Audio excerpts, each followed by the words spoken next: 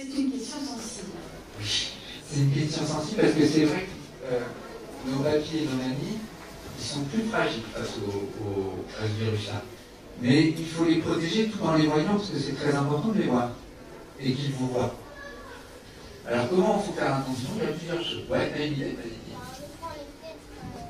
Alors ça c'est très important. Tout le monde a entendu? Ouvrir les fenêtres, c'est une bonne idée, t'as une idée aussi. Parce que le virus, peut partir de notre bouche quand on parle et aller sur quelqu'un d'autre. Alors il y a plusieurs choses. Je disais qu'il fallait ouvrir les fenêtres. C'est vrai qu'il y a plus de risques à l'intérieur que dehors. Quand on va dehors, en fait, il y a très peu de risques, voire pas de risque du coup de transmettre ou d'attraper le virus. Sans doute que ça dépend aussi si euh, les grands-parents sont malades ou même ou sont les santé fragiles.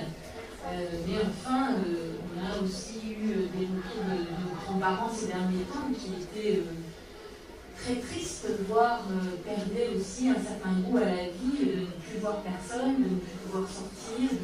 Donc c'est important aussi de dire à nos enfants qu'ils ne sont pas tous porteurs du virus. Et quand on n'est pas malade, on n'est pas malade.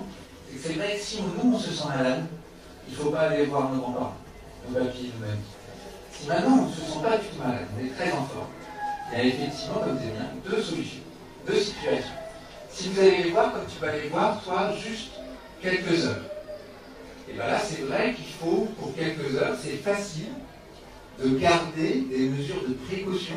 C'est vrai, on appelle ça des mesures barrières, mais c'est plus des mesures de protection, de précaution, pour ne pas euh, créer euh, euh, une situation à risque inutile.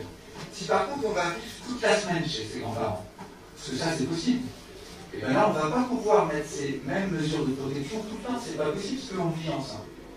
Il y aura besoin de prendre le bain, il y aura besoin de prendre la douche, euh, il y aura le repas, et il ne s'agit pas de ne pas manger ensemble, c'est pas possible ça. C'est vrai qu'on fera sans doute moins de câlins d'habitude.